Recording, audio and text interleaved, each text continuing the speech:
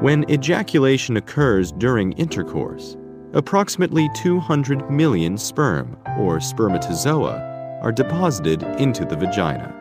They swim through the cervix, propelled by whip-like motions of their tails, or flagella, after which muscular contractions of the uterus direct them to the uterine tubes. This process usually takes between 30 minutes and 2 hours. Only around 200 spermatozoa will reach the secondary oocyte in the uterine tube, and of these, only one will fertilize it. Fertilization cannot occur until two processes have taken place capacitation and the acrosomal reaction. These can take several hours.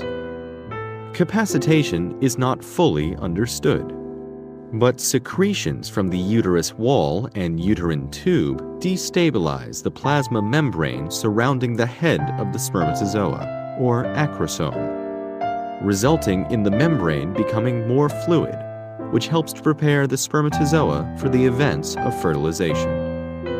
The spermatozoa become hyperactive. Their flagella beat more frequently and their heads move laterally. The capacitated spermatozoa move through the corona radiata, a dense layer of granulosa cells surrounding the oocyte, and come into contact with the zona pellucida, the zona pellucida expresses specific receptor proteins called ZP3, which bind to proteins expressed in the heads of the spermatozoa. The binding of ZP3 triggers the acrosome reaction, during which the enzymatic contents of the acrosome are released.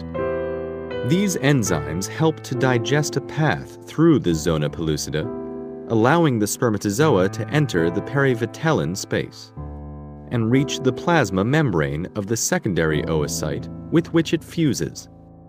To ensure that only one spermatozoon penetrates the zona pellucida and fuses with the oocyte membrane, fusion of the spermatozoon and oocyte membranes activates a fast and a slow block to polyspermy. During fast block to polyspermy, after fusion, the oocyte membrane depolarizes, preventing other spermatozoa from fusing with it. Slow block to polyspermy is also stimulated by this depolarization.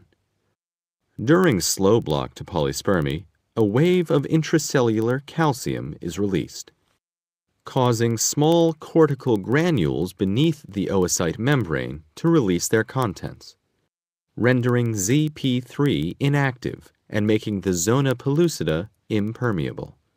Upon the spermatozoon entering, the oocyte undergoes meiosis II and further develops into the female pronucleus. During this time, the sperm develops into the male pronucleus and the two pronuclei fuse to form a single diploid nucleus, or zygote,